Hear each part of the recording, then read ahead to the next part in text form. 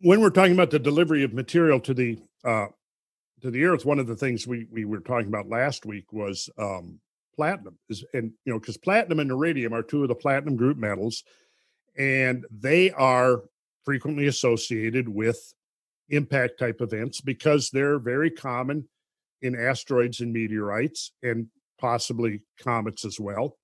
And so we found that one of the discoveries is some of the studies we were looking at last week showed that first of all there was uh, a platinum spike found in the greenland ice cores.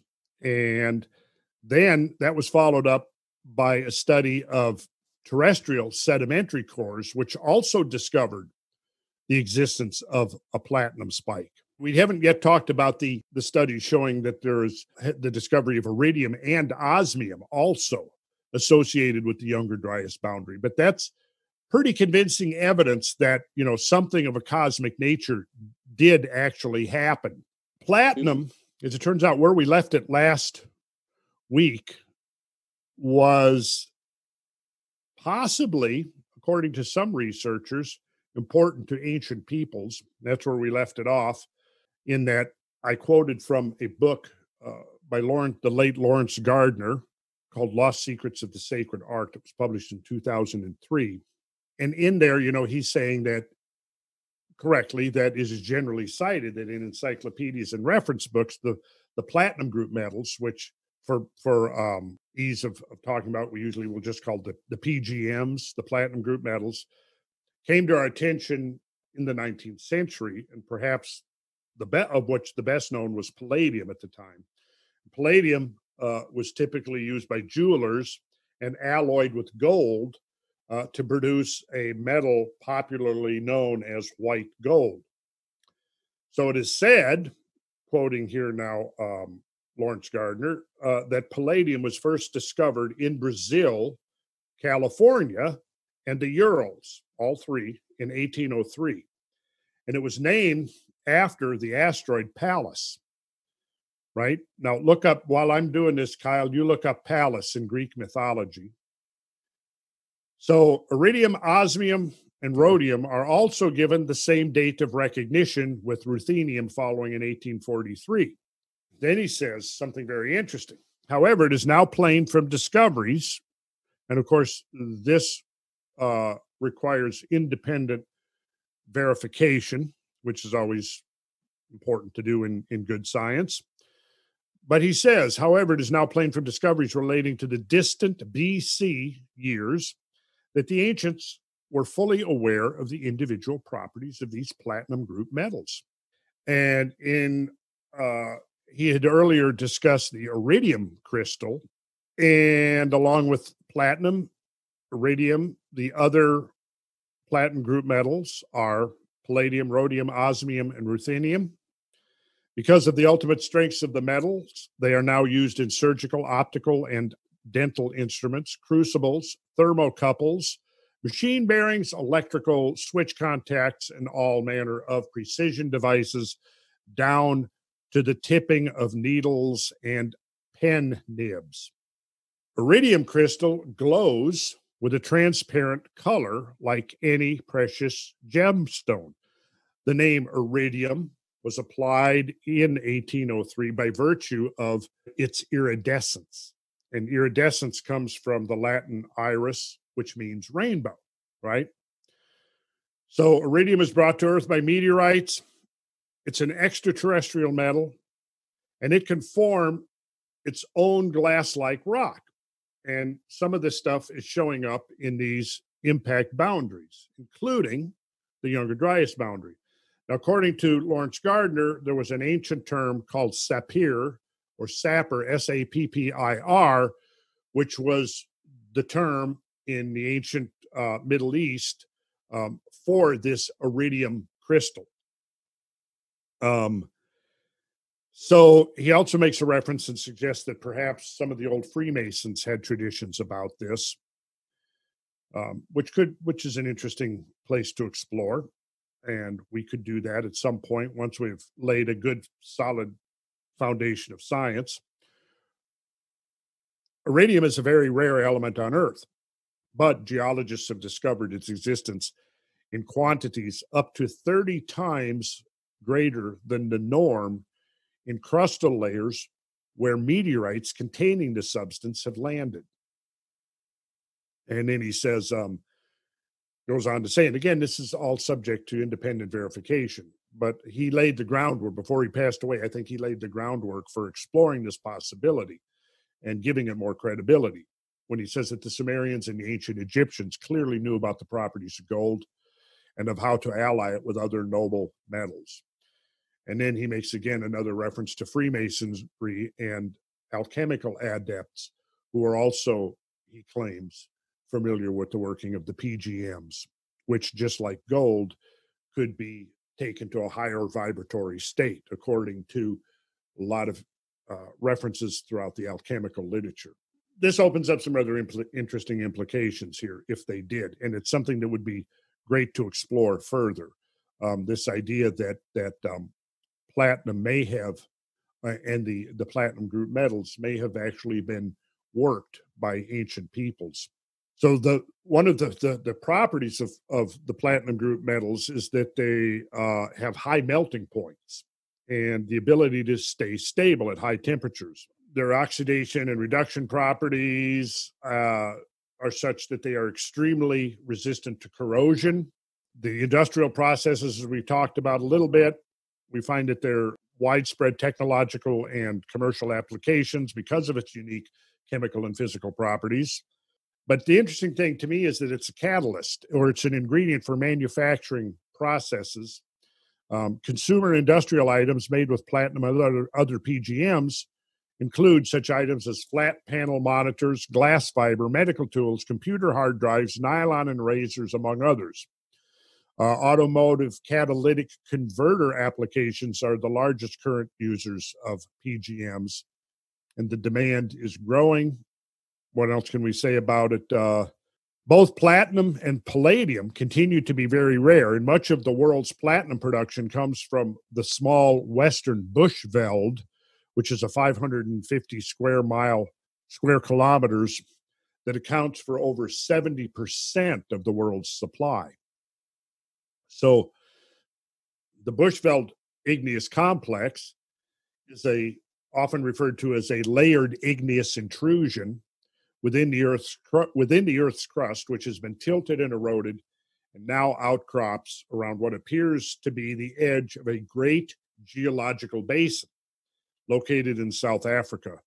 The Bushveld Igneous Complex contains some of the richest ore deposits on Earth.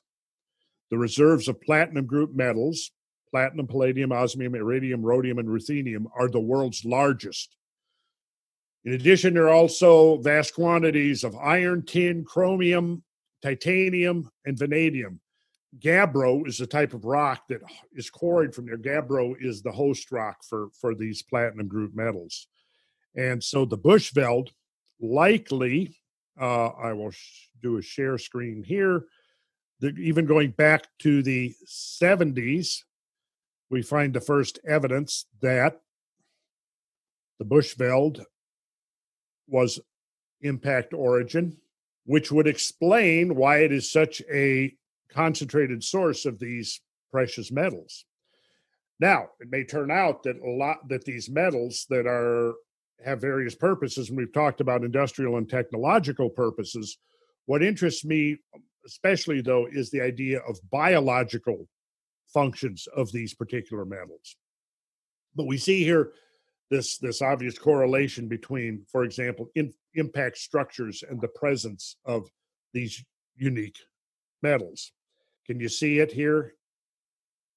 Oh, yeah, we see it. Yeah, and that. that's actually the inner core of the thing. It really reaches out much bigger than that. It's and it's also what, what is this? Acute. What is this coloring? Is that false coloring or or natural satellite imaging? I imagine it's natural. It's been highly intensified and enhanced to bring out the features. So You can see them much clearer. That's amazing. Yeah. So South African. So this is is the world's richest source of these platinum group metals. Um, Is that also one of the oldest impacts? I can't remember the age. It's on one. old. Yeah. I, Yeah. yeah, it, it's very old. Okay, well, you sent me down a serious rabbit hole over here. Yeah. Um, We like that. we're We trying to figure it We out. still see you. So I looked up uh oh yeah, well the whole the whole 10 by 10 by 10 tangent cube of science goes into the rabbit holes with us, so it wouldn't look any different to you guys. Okay. But um so I looked up Pallas in Greek mythology. Greek mythology, and I kept coming up with uh, Olympus. And reading about Olympus is very interesting. It's very uh, sounds like the Kuiper Belt or Yep. something like that. Um, Immortal horses in the homes of the gods. yeah, that come and go as they please. And then we looked up the etymology of the word palace, and of course, it goes back to the Latin word palladium. If you look up palladium, which is spelled different in Greek mythology, the Latin is P A L A T I U M, but in Greek mythology, mythology it's palladium. Okay. P A L L A D I U M, which was, uh, A wooden statue yes, a wooden statue that fell from heaven. and was kept at Troy, and for as long as it was preserved, the city was safe. And it is associated with Athena. Um, Yeah, so, but I couldn't find what are we looking for? exactly. I don't know. Did we do okay? Okay. So it seems to suggest what you found seems to suggest then there is certainly a cosmic association. Yes. Yeah. That's Falls from seems like, heaven yeah. would. Now that's interesting. See, because I just mentioned the biological implications of the injection of these metals, these catalytic metals into the Earth's biosphere. So now in the myth, we've got this association between wood, right? Wood that fell from heaven. Right. Now that's pretty bizarre. I, I see the It reason I had you look it up is because I knew there was going to be some bizarre correlations that showed up in there. Um, because I think one of the working premises that we're we're we're exploring here is that there's evidence that peoples in ancient times had greater familiarity with some of these things than they've been given credit for. yeah. Yeah. So, going back to the biological implications, there's another study I ran across years ago when I was first exploring this that I thought may have relatively interesting implications and it needs further exploration and I don't won't claim to fully understand all of the implications of this of this research but this is going back to an article that appeared in Scientific American in 1995. And this is what they reported on um, that there were, um, let's see, oh, here we go. Okay. Chemist Thomas J. Meade and molecular biologist Jon F. Kayyem have been exploring how electrons move in large molecules. Such processes underlie many important biological phenomena. For instance, the conversion of sunlight into plant food by the magnesium chlorophyll model depends on stimulation of electron movement through the chlorophyll by the incoming protons. Meade and Kayyem's molecule of study was DNA. They devised a way of binding atoms of ruthenium, a platinum group metal, to ribose, one of the backbone components of the helical chains of DNA. Ruthenium atoms act like electrical conductors into and out of the molecule. They have the added virtue of neither disrupting nor distorting its overall shape which of course is one of the characteristics of any catalytic substance or enzyme is that they that they can trigger a response a type of process without destroying or modifying the original substance right? So ruthenium atoms act like electrical conductors connectors into and out of the molecule they have the added virtue of neither disrupting nor distorting its overall shape Kyle, while you're at it, look up the word a catalyst. Look up catalyst. We'll go with that one. A, what is a catalyst? Let's define that before we move on. Okay, from I guess it's just the Google dictionary here. probably- A substance that increases the rate of a chemical reaction without itself undergoing any permanent chemical change. There we go. Okay. Although there has been a long history of using such metals to understand DNA, the ruthenium ribose combination revealed something extraordinary. The researchers examined the electrical properties of short lengths of double helix DNA in which there was a ruthenium atom at each end of one of the strands. Meade and Kayyem estimated from earlier studies that a short single strand of DNA ought to conduct up to 100 electrons per second. Imagine their astonishment when they measured the rate of flow along the ruthenium doped double helix. The current was up by a factor of more than 10,000 times over a million electrons per second. It was as if the double helix was behaving like a piece of molecular wire. So, what does that? I don't know, but it sure does seem to me that that is the entrance into a rabbit hole there that needs to be followed up on and looked at. And uh, and when I yeah. stumbled across that, it it it really did confirm my suspicions that perhaps the PGMs did play a, a critical biological function um, in evolutionary processes. And so when you have impacts that not only cause mass extinctions, they're also injecting into the Earth's, uh, you know, atmosphere, lithosphere, hydrosphere, cryosphere, all of these exotic materials. The question is, is do those materials then have a biological effect? Is there a biological consequence to the to the enhancement of those materials into the into the terra sphere. I'll use the term terra sphere to encompass all of the the, the areas I just uh, just mentioned. And that's and and if there sorry if there is biological life in some cases within these objects that inject them into the planet then they're sitting there in a soup of that stuff that is doing this kind of thing all the time that's also interesting to me Mhm. So if they're not in stasis because of the cold or whatever but if you know once they get close to the sun they start warming up things start happening and all these metals are mixed in with all these uh, biological materials then Yeah. Maybe that's how we live uh, seven or eight hundred years.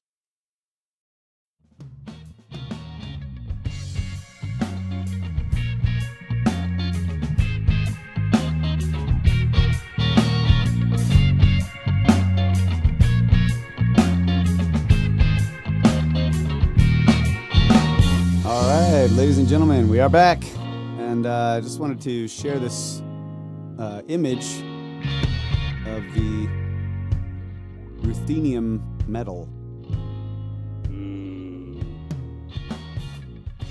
Pretty. Very Terminator esque. look at that yeah That is really cool. So it looks like it has magical properties. Yeah, I'm pretty sure it's magic. Yeah, I don't even know what I'm looking at. That's amazing. Well, what we should do is we should encapsulate some of it and then let Mike ingest some of it and then see if he is still still normal afterwards. Well, Bradley, pull up the um, the field ion microscope photograph of the iridium tipped needle. All right, I can get that back. Yeah, that that was uh, yeah, that's a pretty cool image, which we'll we'll come back to because the geometry inherent in that is quite remarkable. But that's through a light refraction um, using the field ion microscope, which was invented by um, okay, let me see, Erwin Wil- Wilhelm Muller, who invented not only the field emission electron microscope but also the field ion microscope. So he was considered to be the first person to ever saw an atom, and he took this photograph of a of a uh, light being refract refracted from a tip, a very sharp tip of a iri- uh, of an iridium needle, and it formed a very. And I have a color version should be. Oh, I thought this was platinum. This is iridium. I think that one's well. I think he did platinum and iridium. That one, I think, that might be the platinum. This this one is the iridium. Let's see if Okay, yeah, just just from previous presentations, I had in my head that this was the platinum. Yeah. You might be So right. yeah, let's That- see iridium. could- Let's see iridium. Cool. see. Yeah, so that really that looks a lot like a cymatics pattern. I mean, Doesn't Uh, it? Yeah. if you look up the you know a Chladni plate or something, you, that's very much what it looks Oh, like. this is this is iridium, This Uh, one is iridium. Yes. like electron electron scan or something. What what am I looking? yeah, at? they excite it, and the electrons are emitted, and as they're emitted, they form these patterns.